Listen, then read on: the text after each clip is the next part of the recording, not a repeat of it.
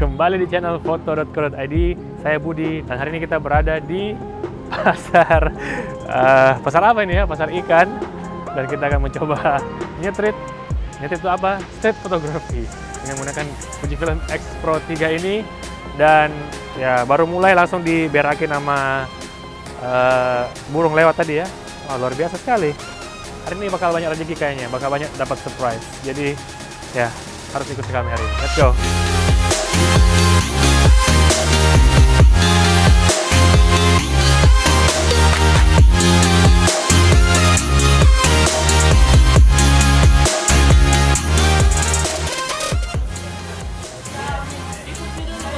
Iya, iya, iya. Boleh, boleh, boleh. Asik.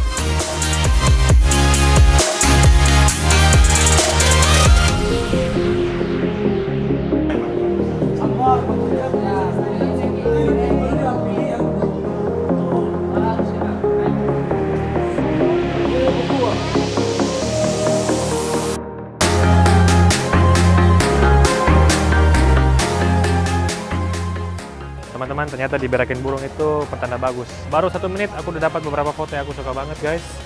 Dan ini memang kayaknya street photographers dream camera ya. Betul-betul lengkap kalau buat nyetrit ya. Karena kecil-kecil terus pang-pangnya innocent gitu kan jadi orang eh, gampang berinteraksi dengan kita. Mau motor lewat dulu. Kemudian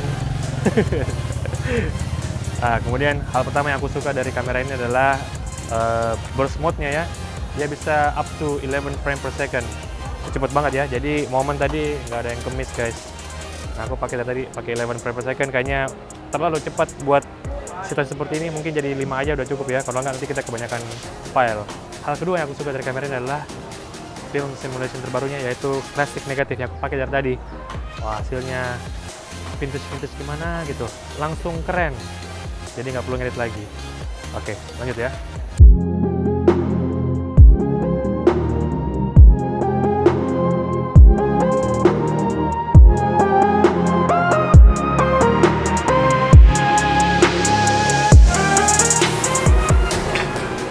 Foto-foto abang nah. Asik.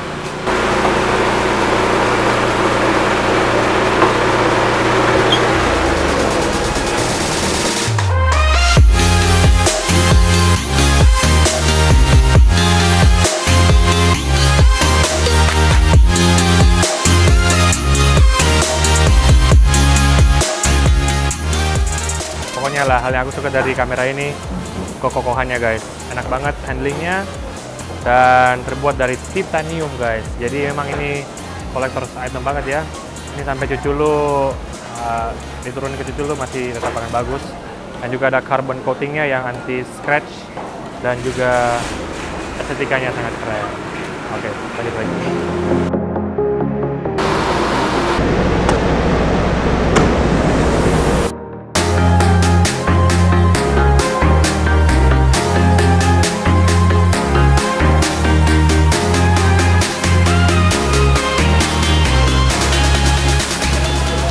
Oke teman-teman, ada hal yang agak sedikit mengganggu ya dari karena mungkin sudah terbiasa dengan Fuji X-T3 dan kamera mirrorless zaman now yang ada layar di sini. Jadi kadang aku masih uh, lupa untuk ngintip di viewfindernya ya. Tapi ya viewfindernya memang dahsyat banget. Ada juga bisa pilih ya. Ada EVF yaitu elektroniknya atau juga bisa jadi uh, apa namanya OVF atau optical viewfinder. Jadi kita tinggal klik ini. Switch. Tuh. Bisa switch. Dari optical ke uh, elektronik ya. Jadi sangat berguna. Aku sih sukanya pakai EVF ya karena aku bisa lihat apa yang langsung ada. Tapi ya sedangkan buat teman-teman di luar sana yang sangat uh, fanatik dengan rangefinder atau optical viewfinder ya tetap juga bisa dapatkan itu di sini. Nah kembali ke layar tadi ya guys ya ada beberapa hal yang mengganggu sih dari flip screen ini ya. Walaupun flip screen-nya dari segi tampilan bagus banget, uh, sangat responsif, namun ya flipnya juga bisa sampai sini aja. Jadi kalau foto high angle gitu, aku nggak bisa lihat apa-apa ya. Sedangkan kalau kayak S3 gitu bisa kita lihat. Nah, jadi tapi ya itu hal kecil yang mengganggu. Tapi kalau dari segi nyetrit, kan biasanya kita pura-pura ala-ala gini kan. Nah, itu masih bisa. Jadi momen tetap tertangkap dan orang nggak tahu kita mau dia. Jadi nyetritnya dapat nih guys. Oke, satu hal yang aku suka dari kamera ini adalah bracketing di film simulation guys. Jadi kita bisa motret sekali aja langsung menghasilkan tiga JPEG yang beda-beda film simulationnya ya. Jadi satu kali jepret dapat tiga foto dengan warna-warna yang berbeda-beda. Itu asik banget. Nanti kita tinggal pilih aja. Jadi nggak perlu benar-benar nggak perlu ngedit lagi.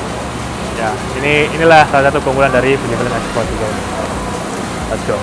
Itu hal yang ku kurang suka guys adalah kita nggak bisa nge-selfie guys. Tuh layarnya nggak sampai sini ya. Ya memang aku ngerti sih, memang ini diciptakan uh, segedemikian rupa supaya kita nggak sering-sering lihat uh, hasil kita ya guys ya atau namanya chimping biasanya orang sebut orang boleh sebut ya jadi kita mesti uh, kembali ke zaman dulu ya di mana uh, kita nggak bisa lihat atau tahu apa hasilnya. Nanti pulang baru kita bisa lihat. Nah itu ada keseruan tersendirinya lah kira-kira gitu. Jadi emang ini bukan kamera untuk semua orang. Tentunya yang buat fanatik fotografi dan ingin merasakan kembali rasa-rasa zaman dulu nah inilah kamera yang tepat buat kamu. Oke okay. terus nah tapi di belakang layar belakangnya ini ada uniknya juga guys. Nah ini kamu nggak bisa lihat uh, hasil dari foto kamu tadi tapi kamu bisa lihat film simulation dan juga settingan-settingan kamera kamu. Jadi ya ini juga asik banget sih menambah estetika dari kamera ini. Mantap. Memang agak redup sih tapi ya mungkin buat hemat baterai ya.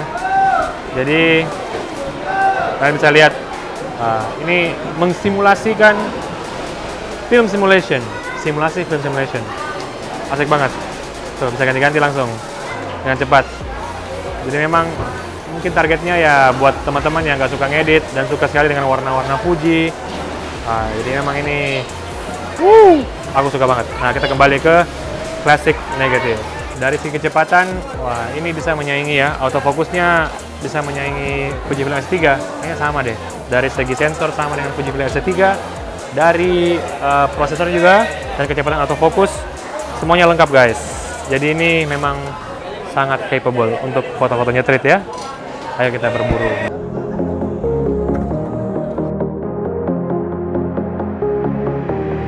Sedikit tips guys, aku mau foto ini kan pemandangan yang begitu unik, tidak indah, ya indah sedikit lah ya. Tapi banyak sampahnya, tapi ya satu tips landscape sedikit nih, kita perlu uh, foto ada foreground ya atau sesuatu yang dekat kita. Nah latarnya situ kan, kalau kita foto belakangnya doang agak sedikit membosankan. Tapi kalau kita tambahkan foreground sedikit seperti ini, nah jadinya foto kita lebih unik nih guys. Oke, okay, aku udah cobain semua film simulation. Kalian bisa lihat ya, tetap favoritku dan memang itu hanya ada di Fujifilm X Pro 3 yaitu film simulation terbaru klasik negatif jadi kalau mau look tersebut wah hanya ada di kamera ini ya nggak berarti ya kita nggak bisa ngedit seperti warna itu ya tapi ya untuk mendapatkan langsung dari kamera itu wow asik banget. Dan warnanya itu kayak langsung kembali ke zaman dulu gitu. Langsung bermakna kata si Tanto.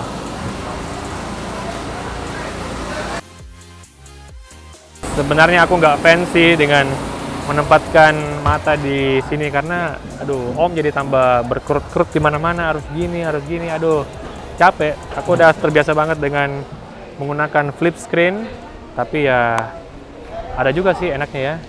Nah kalau gini menyakitkan matamu dan kamu takut berkerut kamu bisa tempel pakai mata kiri ini.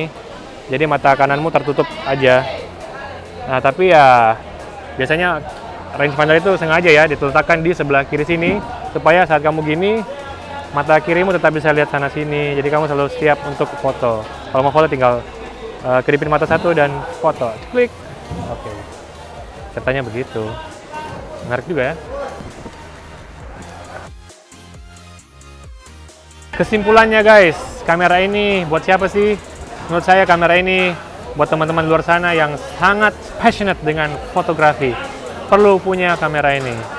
Nah, aku udah aku tahu nih beberapa teman-teman di Makassar sampai ada klubnya ya, menggunakan kamera XF series ya. Dan juga ada uh, memang fans sejati Fujifilm X Pro. Nah, Fujifilm X Pro 3 kayaknya wajib di-upgrade ya. Karena ini kualitas item banget ya. Ini bakal dicari-cari sampai puluhan tahun ke depan nih. Wah, ini mantap banget. Dari segi kapabilitas, wah semuanya sudah lengkap. Bentar ada yang lewat, bagus.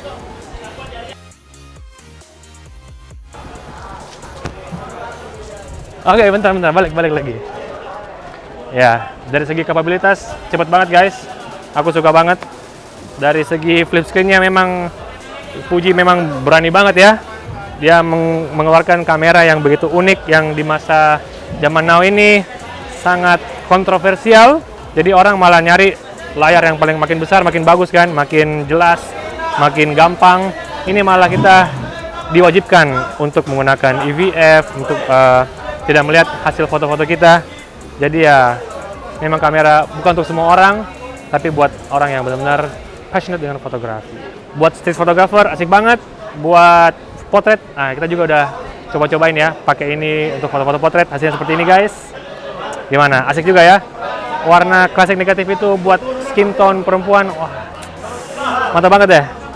Oke, dari segi video nih guys, Nah, kamera ini sebenarnya bisa shoot up to 4K 30p. Jadi sangat capable, uh, bisa hampir menyaingi uh, Fujifilm X-T3 ya guys ya. Dari segi autofokusnya, dari segi warna-warnanya, dari segi kualitas gambarnya semua oke okay banget.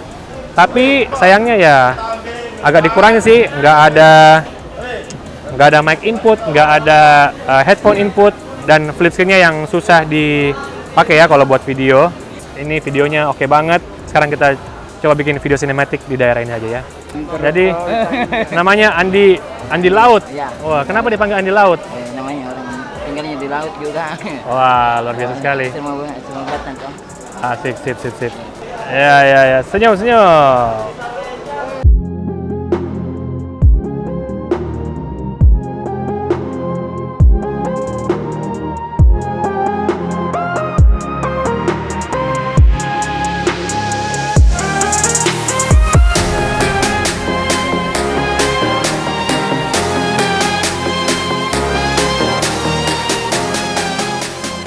Demikian video kali ini.